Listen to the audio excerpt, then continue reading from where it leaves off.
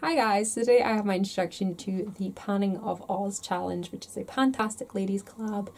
This is one of those videos I did have an introduction filmed whilst I was ill, and it's it's not seeing the light of day. It's it's not, guys. It really isn't, and it's a good thing. It's a good thing because I changed my mind on some of the stuff and picked different products. So yes, um, I've only quickly written out the the prompts for the products. Um, I will link the group the info box if you want to go check it out, and I will hopefully come back to this video and in the description I'll write out the full prompts for you and probably have the full prompts for the update.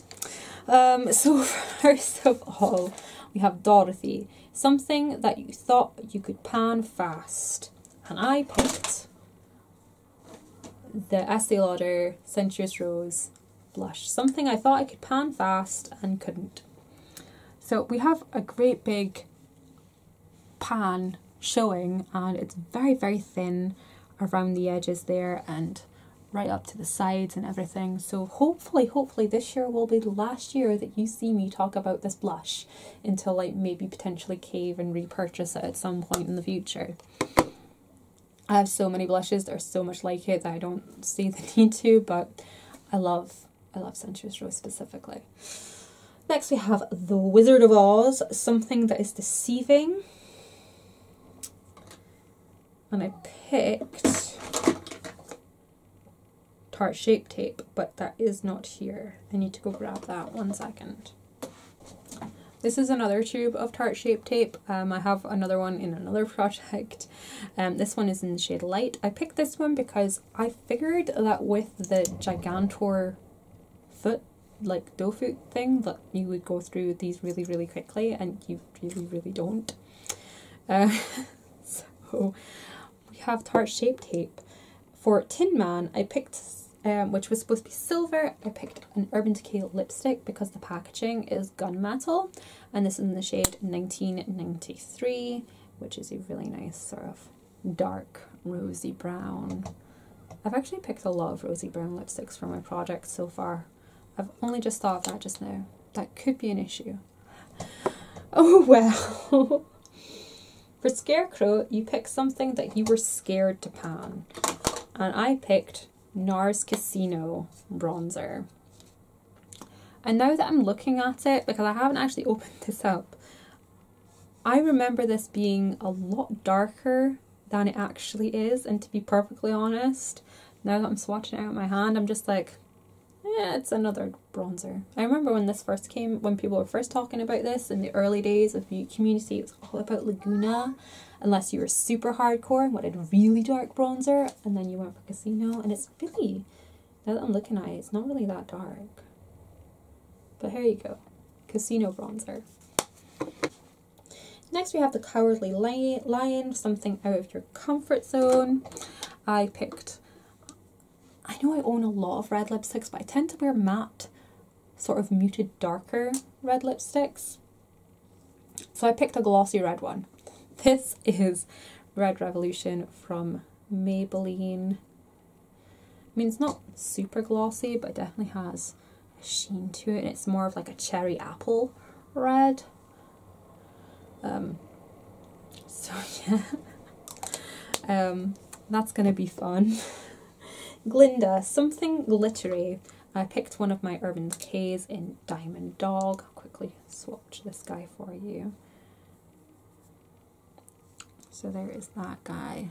I kind of think this will fit in a lot. This will fit in very well with my panning solitaire eyeshadows. I can just sort of do a wash of this over like all my makeup and you know it'll add a touch of something something.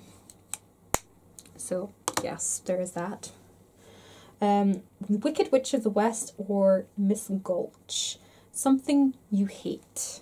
And I picked the Makeup Revolution Conceal and Define. I know, unpopular opinion, but I think this stuff is it's really dry. It's too matte and when people wear it on camera with their lights and everything, it probably looks really nice, lit nice, especially when they go over it with their mists and their highlights and it gives a glow. But when I see other people like in real life using it and it's just like the foundation and it dries to this powder finish and it just looks like death face. And it makes me look old when I use it. Same with the concealer, right? It makes me look really, really old. Um, so yeah, I do want to use this up. I'm going to mix illuminators with it, but I want to get it used up. Toto, something you love. And I picked the Dior lipstick in Classic Matte. And this is a bit more like the red that I would normally gravitate towards. Slightly more a darker muted matte red. That's more my cup of tea these days. And as you can see, I've used a fair amount of it already. I've almost worn away the Dior logo. Um, this is more like an old sort of Hollywood red. So there is that. Um, Munchkins, something you use to protect your skin. I pulled out the Max Factor Facefinity primer because from what I've I can see they've discontinued this. So I want to kind of start moving it out. Um, I've got a video idea for the future about um, talking about products I used to love from brands and brands I used to love that have gone off on weird tangents and are now I have no relation to them. Um, and this is one of those products like Max Factor with the face finitiness. Loved this, and now they've gone and discontinued this by the looks of things and brought out like three different primers. Like I don't know why, but yeah, there is that. Um, Lollipop Guild, something candy related, and I picked the um, Barry. No, not Barry the Bare Minerals lip cream in Swank. Specifically because it's close to being finished, but also because it smells like bar cream. I love it. Love it, love it. Um, monkeys, something that stalks you, something that you've been meaning to pan but haven't gotten round to it, and that is the NARS Duo Orgasm and Laguna. I have a lot pan going on there, pardon me, and thin product in the pans. So I don't see this being a huge problem using up. The more old stuff I can get out of my collection, the better, because I bought that for my 21st birthday 10 years ago. Um, horse of a different colour. Pick something duochrome, and I picked Vanilla Quartz from Becca because it is um, it has like a sort of a goldy pink shift to it. So yes, and it's a mini, so it shouldn't take too long to go through. Um, Auntie M, something comforting, and I picked another Bare Minerals lip cream. This is in the shade Boss. I know I didn't I didn't swatch Swank. I should do that. Oh god, there's the rosy brown again. So there is Boss. It's very similar to 1993, isn't it? And then we have Swank, which is more that burgundy redness that I like. Um, Uncle Henry, something that brings back memories. And I picked the Superstay 24 Hour Concealer um, Foundation. I've been trying to do that all day. Like when I say any product, I want to instantly say concealer foundation. Superstay Foundation. I loved this when I was first getting into makeup and doing YouTube. This was like my go to everyday full coverage long wear foundation. This is, it's like it's like Estee Lauder Double Wear Light, basically. Maybe a little bit thinner consistency, um, but I love it a lot and I miss it a lot. Next I have Yellow Brick Road, Yellow Brick Road, which is something gold or yellow. I was going to pick the NYX yellow eyeshadow, but then I thought about the Panning Solitaire and I was like, no, no, that's it's just not going to fit in with those shadows I picked for that. So to make it actually doable, I just picked a gold liner. This is gold from Clarins. It's like an old gold, so it makes it even more wearable than if it were a bright gold. Um, for Emerald City, pick something green, and I picked the Avon eyeliner in Emerald, which I have so, so little left. So little left. I don't really even want to swatch it. But there you go, there's Emerald. It's very, very pretty. Expect this to be finished by the next update. Um, And then we have Ruby Slippers, Something Red, and this is the Avon lip liner in well, not the one I meant to pick up. This is in coral. I meant to pick up True Red. So just pretend this is red and that it's an almost full lip liner, which it is, because that's about as much as was in the True Red as well.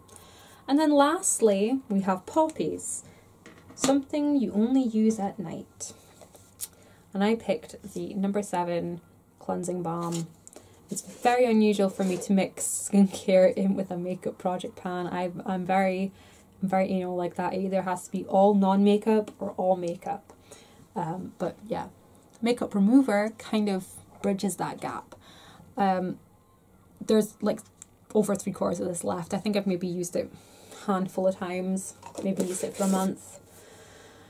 Um, somewhere thereabouts. It's not had a great deal of usage so I'll be excited to dig into that and get it used up because I have a lot of cleansing balms that I need to get used up and cleansing oils and all that jazz. So those are the products that I picked for the Panning of Oz challenge. This is a year-long project and I will be trying to get, I, well I will be updating, I'm not sure which Saturday, but it will be on one of my Saturday morning Project Pan updates throughout the year. So um, I look forward to sharing that with you. I look forward to using up these products and I will see you next time. Thank you so much for watching. Thank you to the Pantastic ladies for creating this. I will annotate the specific lady whose idea this was. It's just the name is escaping me and I'm pretty sure it's if it's the lady I think it is, I can't pronounce her name to save my life anyway. Anyways, um I'll catch you guys later. Thank you so much for watching and bye bye.